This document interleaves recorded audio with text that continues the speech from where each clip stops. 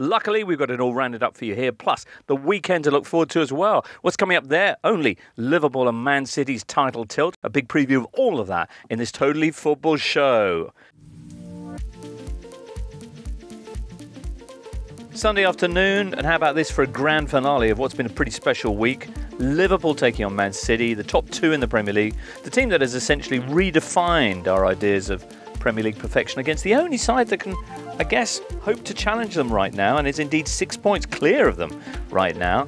It's their second meeting of the season. City took the Community Shield on penalties.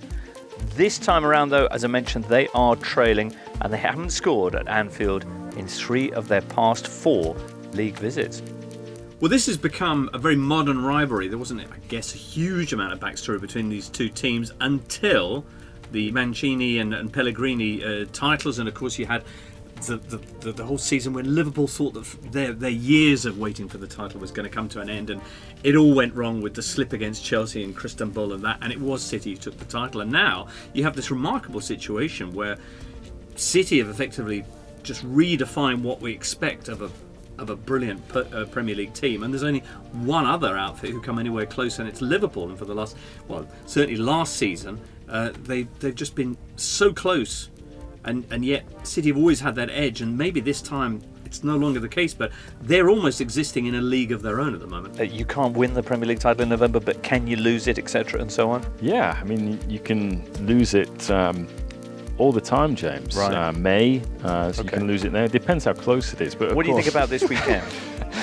I think it's quite interesting that if you think about some of the best periods in Premier League history, it's been when two teams have been kind of a cut above the rest. You had Newcastle United in the 90s, then Arsenal United, and then Chelsea and Arsenal, and uh, various different teams. I think this is kind of, you know, testament to how good these two teams are at the moment. I don't think right now there is a better side than Liverpool or Man City in Europe. I really, I really think so. I think Bayern are in crisis, just like their manager. I think Juventus are still a work in motion under, under Sarri. And in Spain, Real Madrid are, are slow right now, and Barca are not playing great either, despite having Messi. At PSG, I, I still think I'm way below those two teams. So yeah, I think I think they are the best two teams in Europe, and, and yeah, the, the, winner for me, you know, could be could be certainly dubbed the current best team in the world. There's huge excitement all over Europe, certainly in Germany, because of the, uh, the Klopp factor, but also Guardiola having worked so successfully at Bayern is, is, still a big name and everyone's really looking forward to that sort of battle of the, the minds. Guardiola seen as the preeminent innovator uh, in football over the last, well, since Arrigo Sacchi, if you like, and Klopp, so charismatic. I think the coach that every fan base would like to be on the sideline representing their team, who also seems to have the kryptonite mm. uh, to Pep Guardiola. And these teams just don't drop any points. They hardly lose any games. Uh, they have a frightening ability to change things around. I have a suspicion that uh, City will win this game at Anfield. I think they will break the uh, that unbeaten record that uh, Liverpool have there. I, I, still think Sterling at this at this moment in time is in such a rich vein of form. He can do pretty much anything. Uh, he can play as he, he can do what he wants uh, at the moment in time. So there aren't many teams in Europe that have better players and better functioning collectives as those two sides. So to see them come up against each other with a commitment to attacking football is is just amazing.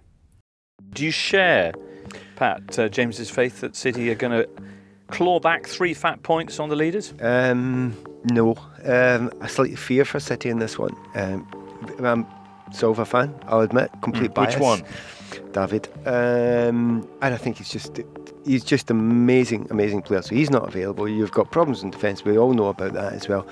To be fair, I mean, I adore City and I love the way they play football, but I'm not sure they're, they're at their best at the moment. It's when you least expect it. Yeah. Last year, I think this was one of the most defensively impressive games we saw in the Premier League all season, but I think both teams have regressed uh, since then defensively. So I'm expecting both to try and go out and score. If you think back to this fixture last season, which was in October, um, both teams were defending brilliantly. They'd hardly let any, in any goals all season. It's not. That's not the case now. And I think we could be looking at one of the games we saw from the previous season, like in the Champions the League. The 4 3?